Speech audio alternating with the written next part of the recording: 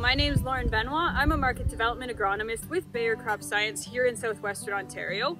Today I'm here to talk to you about our new corn herbicide Laudis and how you can use it to control glyphosate resistant weeds in our fields. So in particular, I'm going to be talking with you today about water hemp. So water hemp has developed resistance to four modes of action in Ontario, 2, 5, 9, and 14.